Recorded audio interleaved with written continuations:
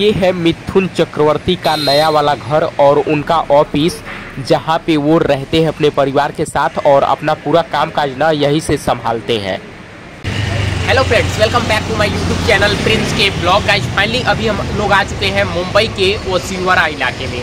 और आज की इस वीडियो में हम आप सभी लोगों को दिखाने वाले हैं नब्बे दशक के सुपर स्टार कहे जाने वाले मिथुन चक्रवर्ती जी का घर। जी हाँ दोस्तों आप लोगों को मैंने मलाड वाला उनका घर दिखाया ही है, जहाँ पर बहुत ही खूबसूरत तरीके से उन्होंने अपने घर को बनाया है। लेकिन आज की इस वीडियो में हम आपको जिस घर को दिखाने जा रहे हैं ना, यहीं पर उनका ऑफ़िस भी है और घर भी है, जहाँ पर उनके लड़के रहते हैं और मिथुन चक्रवर्ती यहाँ पर अक्सर आया जाया करते हैं, वो भी रहते हैं, लेकिन वो मलाड वाले में भी रहते हैं, यहाँ पर भी आते हैं। मतलब उनका आना जाना लगा रहता है, लेकिन जो उनके बेटे हैं, वो यहीं पर रहते हैं क्योंकि ऑफ़िस है और ऑफ़िस में काम रहता है।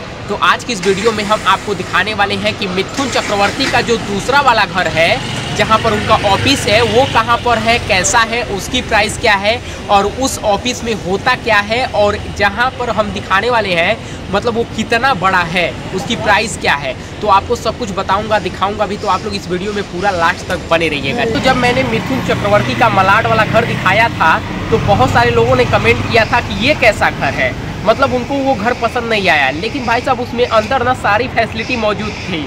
लेकिन आज जिस घर को दिखाने वाला हूँ जिसमें मिथुन चक्रवर्ती जी रहते हैं अपने परिवार के साथ वो घर भाई साहब काफ़ी कमाल का है और इतना सुंदर है ना कि आप देखोगे तो कहोगे कि हाँ भाई साहब ये किसी एक्टर का घर है।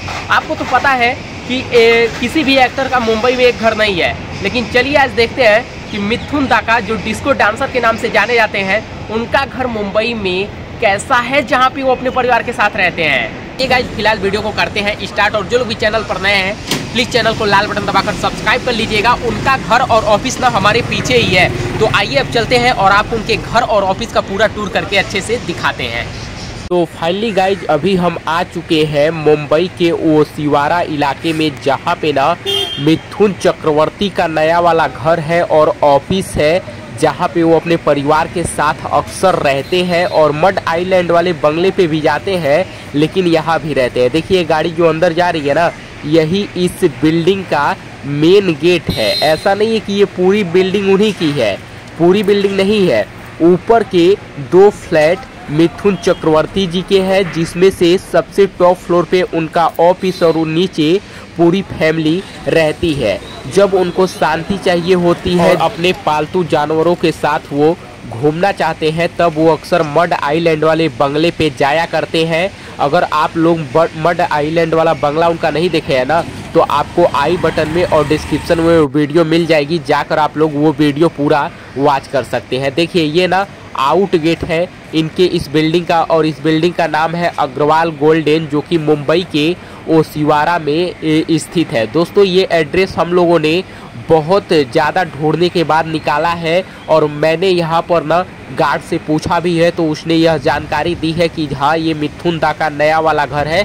काफ़ी पुराना ही है, लेकिन अभी इसमें अपना ऑफ़िस भी इन्होंने खोल लिया है। तो सोचिए, जो भी ये काम करते हैं ना, उनके बेटे और मिथुन दा वो इसी बिल्डिंग से करते हैं मतलब अपने ऑफ़िस से करते हैं और उनका परिवार भी यहीं पर रहता है। मैं आपको बताना चाहूँगा कि मिथुन चक्रवर्ती जी का ना मुंबई में तीन जगह पे घर है। एक बांद्रा में है एक वो सिवारा में है और एक मड आइलैंड में है। अभी हम आपको इनके बायोग्राफी के बारे में भी बहुत ज़्यादा जानकारी देने वाले हैं और इनके बारे में अनसुनी बातें भी बताने वाले हैं। तो देखिए, काफ़ी ज़्यादा ग्रीनरी भी है। ओसिवारा इलाके में काफ़ी ज़्यादा पेड़ पौधे हैं और ये जो इलाका है ना, पूरा काम काज वाला इलाका है। मतलब कि इतना तगड़ा तगड़ा ऑफ़िस है इधर कि आपको तो यहाँ वीडियो में दिखाई दे ही रहा होगा। ये पीछे का आउट गेट है और ये इसी रास्ते से एंट्री होती है, आप लोग देख सकते हैं।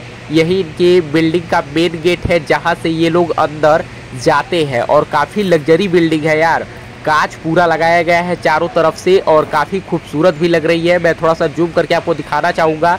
उसी रास्ते से वो लोग भी अंदर जाते हैं तो यही ये बिल्डिंग है।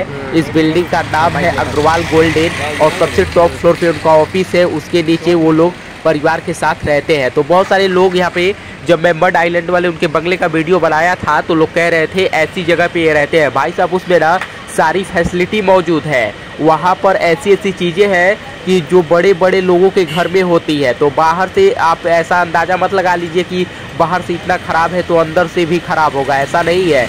भाई साहब, अंदर क्या लग्जरी वाली फीलिंग आती है ना, मैं आपको क्या बताऊँ? तो ये जो आप लोग बिल्डिंग देख रहे हैं इसी बिल्डिंग में उनका नया वाला घर और ऑफ़िस है मिथुन दा सबसे पहले दोस्तों आपको हम बता दें, इनकी पत्नी का नाम है योगिता बाली और इनके तीन बेटे हैं और एक बेटी है। बेटों का नाम है महाछय चक्रवर्ती, उसमें चक्रवर्ती और नमासी चक्रवर्ती और इनकी बेटी का नाम है दिशानी चक्रवर्ती। इनकी जो बेटी है ना, वो कैलिफ़ोर्निया में भी पढ़ती है, लेकिन अपने परिवार के साथ जब मुंबई आती है तो इसी घर में रहती है, यानी पूरी फैमिली ना यहाँ पर रहती है और मड आइलैंड वाले बंगले पर भी रहती है। दोस्तों, आपको बता दें, जब एक दुबले पतले और सावले रंग का व्यक्ति बॉलीवुड इंडस्ट्री में आया था, तब शायद ही किसी ने यह सोचा था कि यही बंदा एक दिन बॉलीवुड की फ़िल्मों का स्टार बन जाएगा, जो अपनी ज़िंदगी में 450 से भी अधिक फ़िल्में करेगा। मिथुन चक्रवर्ती को प्यार से मिथुन दा भी कहा जाता है। इनका वास्तविक नाम यानी असली नाम ना गौरांग चक्रवर्ती है और इन्हें इंडियन फ़िल्म अवार्ड प्राप्त हो चुका है। इनकी सबसे पहली फ़िल्म साल 1976 में आई थी और इन्हें अपनी पहली ही फ़िल्म के लिए नेशनल फ़िल्म अवार्ड प्राप्त हुआ था। बता दें कि मिथुन चक्रवर्ती को मार्शल आर्ट में ब्लैक बेल्ट भी प्राप्त है। यही कारण है कि ये अपनी फ़िल्मों में एक्शन सीन काफ़ी अच्छे तरीके से कर लेते हैं। यह मोनार्क ग्रुप के मालिक भी है। जो हॉस्पिटैलिटी की फ़ील्ड में काम करती है। दोस्तों यहाँ पर मैं आपको दिखाना चाहूँगा जूम करके देखिए यहाँ पर लिखा है अग्रवाल गोल्डेन और यहाँ आसपास का नज़ारा भी मैं आपको दिखा रहा हूँ कि आसपास का नज़ारा यहाँ पर कैसा है। ताकि आपको अगर यहाँ पर वीडियो बनाने आते हैं तो आपको संभल कर आना पड़ेगा और यहाँ गार्ड से परमिशन लेकर ही आप लोग वीडियो बनाइएगा नहीं तो आपके लिए दिक्कत हो सकती है। ठीक है? मैं पहले ही बता दे रहा हूँ। बॉलीवुड के डिस्को डांसर कहे जाने वाले मिथुन चक्रवर्ती का जन्म 16 जून 1950 को कोलकाता में हुआ था। बता दे कि बड़े होने के बाद मिथुन चक्रवर्ती नक्सली भी बन गए थे। लेकिन एक हत्याकांड में इनके भाई की मौत हो गई थी और तभी से मिथुन चक्रवर्ती ने नक्सलवाद को छोड़कर वापस से सही रास्ते पर चले आए। जब मिथुन चक्रवर्ती थोड़े समझने लायक हो गए, तब इनके माता पिता के द्वारा इनका एडमिशन स्कूल में पढ़ने के लिए करवा दिया गया। स्कूल की पढ़ाई पूरी करने के बाद मिथुन चक्रवर्ती ने कोलकाता में स्थित स्काटिक्स चर्च कॉलेज में एडमिशन लिया और यहाँ से इन्होंने केमिस्ट्री के सब्जेक्ट में अपनी ग्रेजुएशन की डिग्री भी हासिल की। यहाँ से पढ़ाई करने के बाद ये पूरे शहर चले गए, जहाँ पर उन्होंने film and television institute of India से एक्टिंग के गुण सीखे। आपको बता दें, इनके पिताजी का नाम बसंतो कुमार चक्रवर्ती और माताजी का नाम शांति रानी चक्रवर्ती था। बहुत कम लोगों को ही इस बात की जानकारी है कि मिथुन चक्रवर्ती का असली नाम गौरांग चक्रवर्ती है। लेकिन जब ये फ़िल्मों में एंट्री लिए, तब इन्होंने अपना नाम बदलकर मिथुन चक्रवर्ती कर लिया। इन्होंने योगिता बाली से शादी की है। हालाँकि, एक इंटरेस्टिंग बात यह भी है कि कभी श्रीदेवी और मिथुन चक्रवर्ती एक दूसरे के काफ़ी नज़दीक भी आ गए थे। और दोनों लोग आपस में शादी करना चाहते थे, लेकिन शादी नहीं हो पाई। साल उन्नीस सौ छिहत्तर ही वह साल था जब इन्हें पहली बार फ़िल्मों में काम करने का मौका मिला। दरअसल, साल 1976 में मृग्यानाथ की पिक्चर रिलीज़ हुई थी, जो मिथुन चक्रवर्ती की पहली पिक्चर थी। इस पिक्चर से इन्होंने अपने एक्टिंग करियर की स्टार्टिंग की। इस पिक्चर में काम करने के बदले में मिथुन चक्रवर्ती को नेशनल फ़िल्म अवार्ड प्राप्त हुआ। इसके बाद मिथुन चक्रवर्ती ने अपने कैरियर में 450 से अधिक फ़िल्मों में काम किया।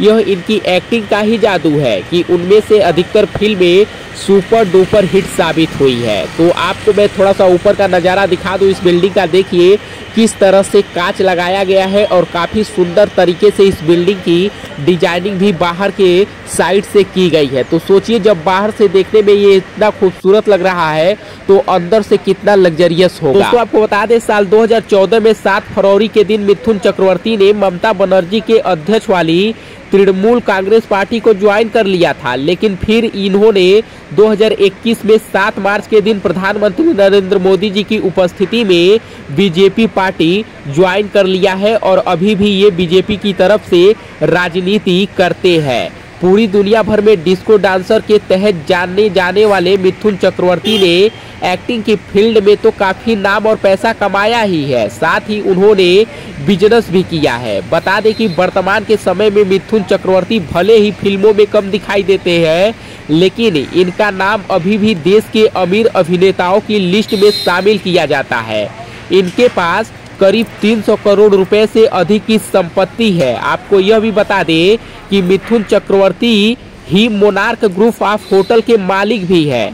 इनके कई बड़े बड़े होटल हमारे भारत देश के कई बड़े बड़े शहरों में है, जिसमें मुंबई, दिल्ली, कोलकाता, चेन्नई जैसे शहर शामिल है।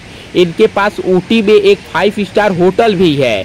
इसी के साथ मैसूर और दक्षिण भारत के कई राज्यों में इनके पास काफ़ी महँगे होटल मौजूद है। इस प्रकार एक्टिंग के अलावा एडवर्टाइजमेंट के साथ ही साथ इनकी कमाई होटल के ज़रिए भी होती है। मिथुन चक्रवर्ती टीवी सीरियल के कई सारे शोक में जज के रूप में भी काम करते हुए नज़र आते रहते हैं। इसी दशक के आसपास में मिथुन चक्रवर्ती का नाम बॉलीवुड के टॉप हीरो में और श्रीदेवी का नाम बॉलीवुड की टॉप हीरोइन में लिया जाता था।